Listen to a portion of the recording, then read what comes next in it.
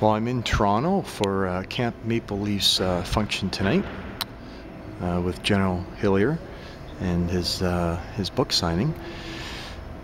So Camp Maple Leaf has uh, has done up the hall in a beautiful, beautiful way here.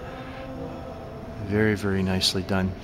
Got a little kind of camp makeup here, and even the uh, the candles here, the little maple leaf on there. So that's a very, very nice touch.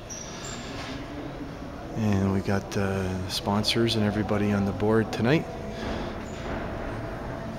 So thank you to the sponsors who've made this night possible. That's uh, always uh, appreciated. The sponsors are always the ones working behind the scenes to uh, to make uh, an event like this uh, possible.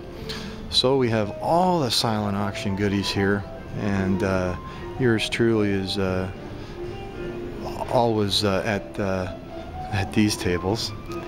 And we've got the chairs set up and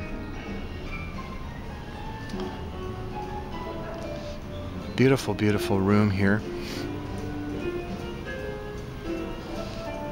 And some pictures of Camp Maple Leaf so just kind of getting ready uh, for the start of everything